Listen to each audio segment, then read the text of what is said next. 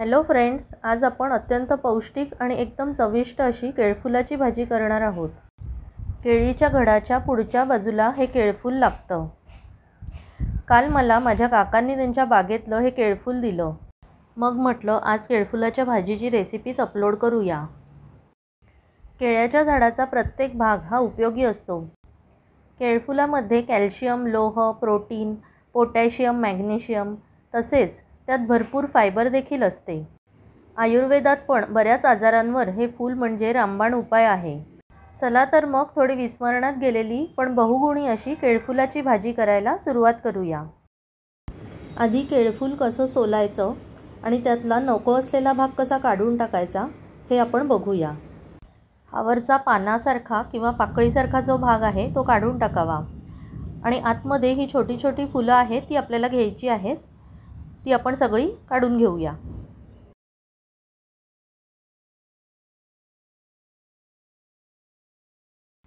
केळफूल सोलायच्या आधी आपण हाताला थोडं तेल लावून घेऊया. कारण त्यात चीक असतो आणि तो आपल्या हाताला लागतो.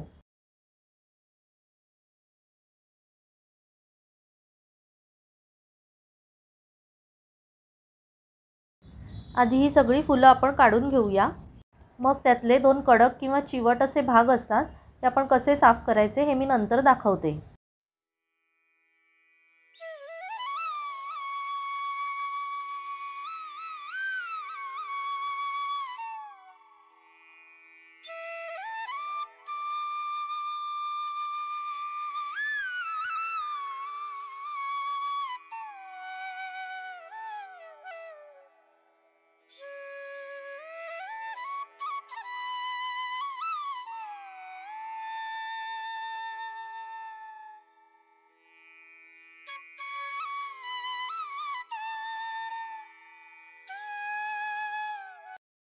सगळी फुलं काढून झाल्यावर आतमध्ये असा पांढरा भाग राहतो. त्यातली आता फुलं निघणार नाहीत त्यामुळे आपण तो तसाच चिरणार आहोत. ही फुलं पटकन उघडत नाहीत त्यामुळे ती अशी जरा ताटाला घासून घेतली की उघडतात. मग त्यामध्ये हा पांढरा पापुद्र्यासारखा भाग असतो तो काढून टाकायचा. आणि एक ताट कडक असा दांडा असतो जो वरून गोलाकार असतो तोही काढून टाकायचा. अशाच प्रकारे सर्व फुलांचे आपण हे दोन भाग काढून घेऊया. ते चिवट असल्यामुळे चिरले जात नाहीत.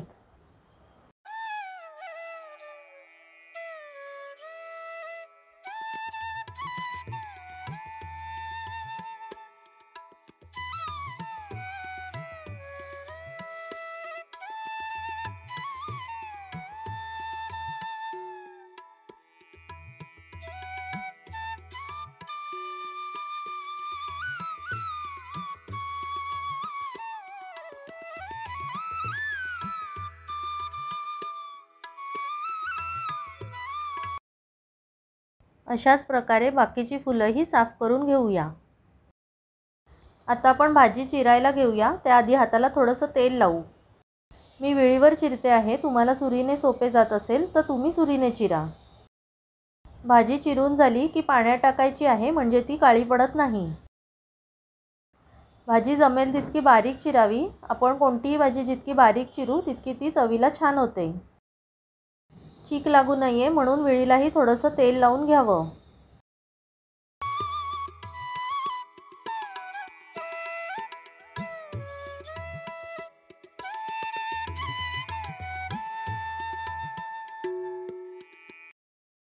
मित्रमैत्रिणींनो तुम्ही चॅनलवर नवीन असाल किंवा अजून चॅनल सबस्क्राईब केलं नसेल तर प्लीज सबस्क्राईब करा आणि बाजूला असलेल्या बेल बटनवर क्लिक करा म्हणजे तुम्हाला नवीन रेसिपींचे अपडेट्स लगेच मिळतील.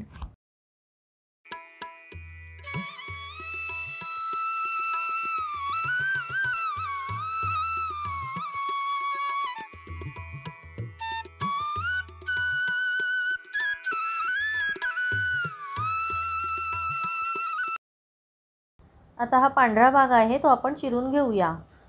त्याचा खालचा आणि वरचा भाग बराचसा काढून टाकावा.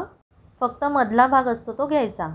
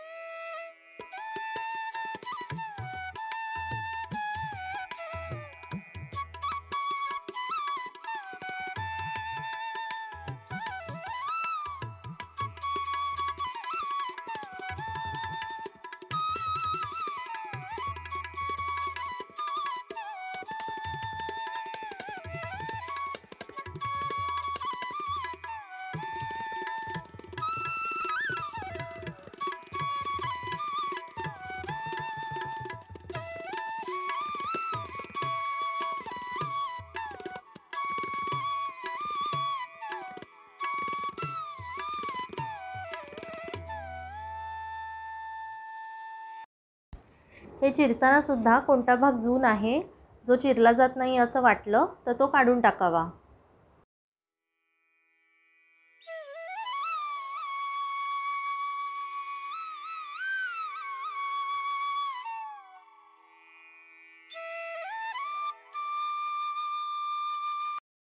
सर्व भाजी चिरून झाल्यावर पाण्यात भिजवून ठेवावी.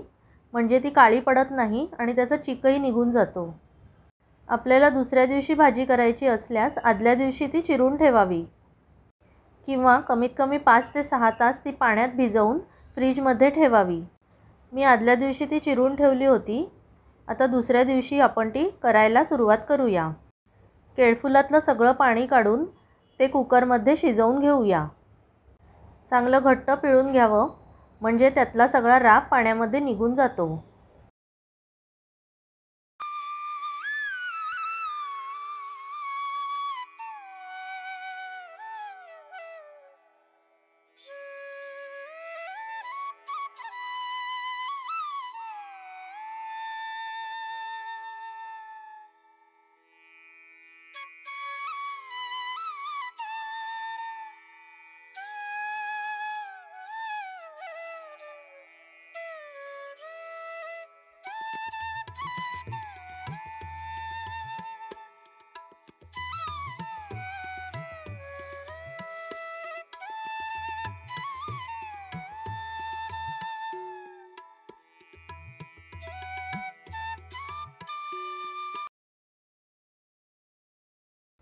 पाण्यात राहिलेलं केळफूल गाळणीने गाळून घट्ट पिळून घेऊया.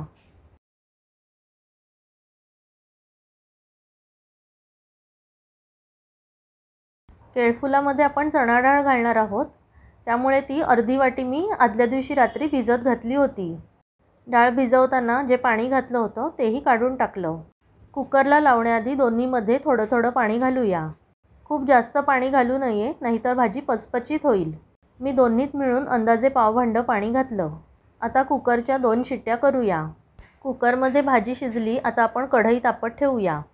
आधी शिजवून घेतलेली असली की भाजी पटकन होते. कढई तापली की त्यात एक मोठा चमचा तेल घालूया.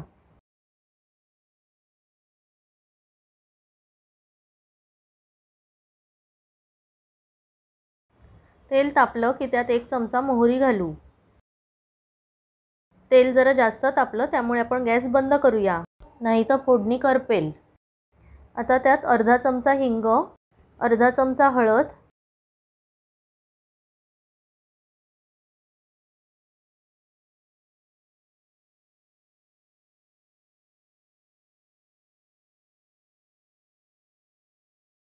आणि शिजलेली भाजी घालूया. मी यात कांदा लसूण काहीच घालत नाही. कांदा लसूण नाही घातलं तरीसुद्धा ही भाजी चविष्ट होते.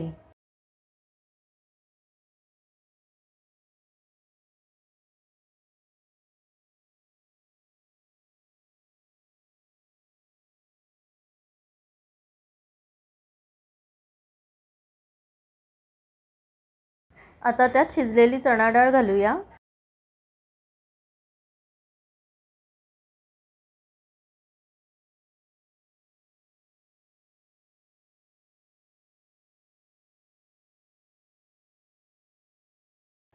मगाशी बंद केलेला गॅस आता चालू करूया आणि त्यात मसाले घालूया.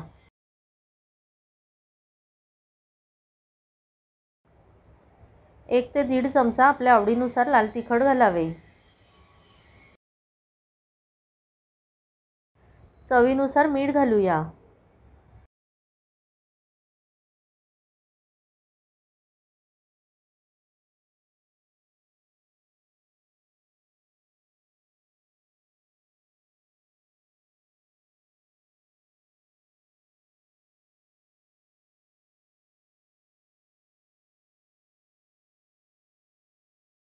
अर्धा ते एक चमचा गोडा मसाला घालूया.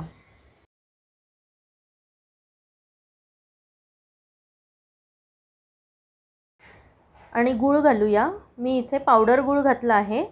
त्याला थोडा गोडवा कमी असतो त्यामुळे दोन चमचे घातला आहे.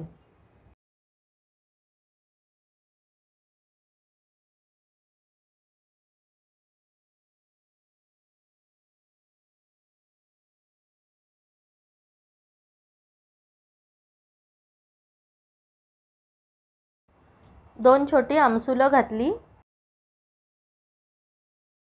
सर्व जिन्नस घालून झाल्यावर भाजी चांगली ढवळून घेऊया.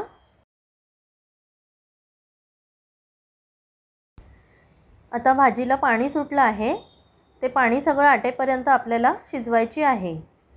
त्यावर झाकण टाकून शिजू देऊया.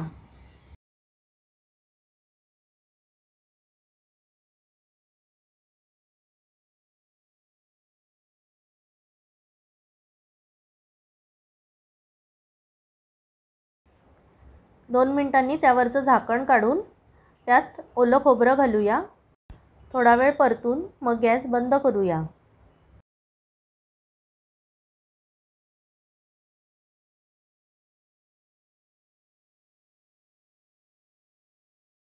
एकदम टेस्टी अशी केळफुलाची भाजी तयार झाली आहे.